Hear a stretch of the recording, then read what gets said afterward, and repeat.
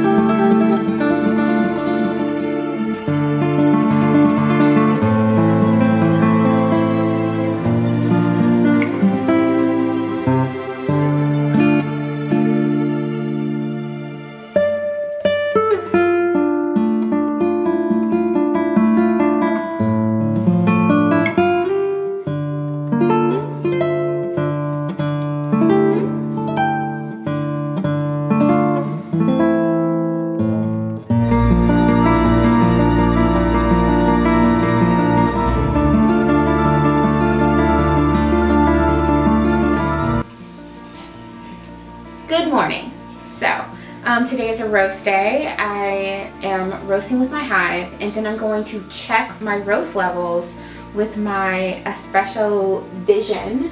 This little cute gadget that I received would get you some gear. So I'm just going to take you through what a home roast day looks like for me and um, it's very peaceful actually. Um, well, peaceful for me. I don't know about my family that lives with me. But it's peaceful for me. Um, and I have been chronically under caffeinated because our oven was out and it was like a whole thing, right? And yeah, yeah. So I'm very happy, and you can't tell because it's morning. But I am very happy to be roasting, and I'm very happy to try out this gadget. It's really cool. It'll show you you grind your beans to espresso fine, as fine as they can go. Um, and then it'll give you like, is it light roast, medium roast, or dark roast? This is a light roast household.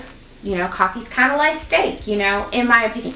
In my subjective opinion, I think that development should be chosen to accentuate the bean and there is a lot lost with increase and intense development that I think that it adds to the cup. But that's my subjective opinion. Um, and so that's where I approach my roasting with at home.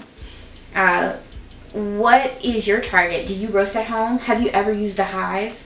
Um, have you gotten to the point where you're like okay what am i doing? Like is there a standard? You know i think this is really cool. This is a really cool gadget. Um, it's about like 300 bucks.